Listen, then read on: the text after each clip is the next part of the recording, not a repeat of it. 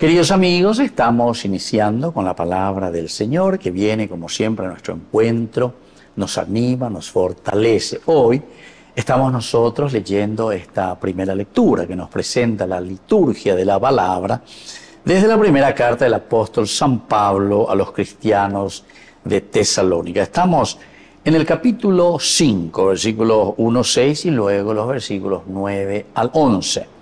Hermanos, en cuanto al tiempo y al momento, no es necesario que les escriba. Ustedes saben perfectamente que el día del Señor vendrá como un ladrón en plena noche.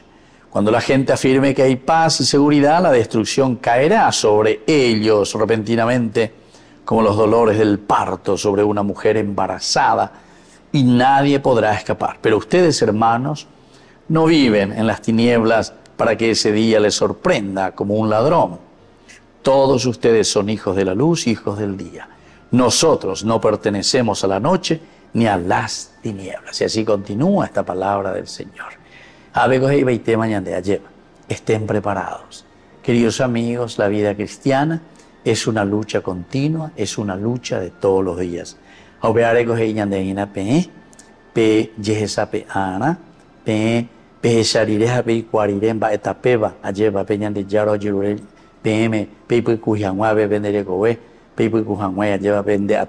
esta sociedad que necesita de la presencia de Cristo, entonces allí podemos hablar de una sociedad enraizada desde Cristo.